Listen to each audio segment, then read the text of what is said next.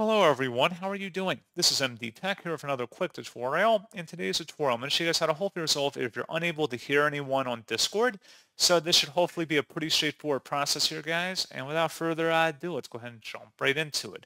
First thing I recommend doing, make sure your phone settings are turned up, like the audio. Make sure that your apps are working, because if it's not just Discord, you have a phone issue, not a Discord issue.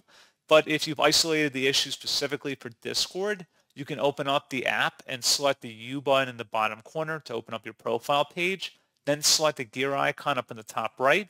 Go underneath where it says app settings and you want to select voice. And where it says output volume, you can drag it further over to the right to increase the output volume. And that's all you should have to do.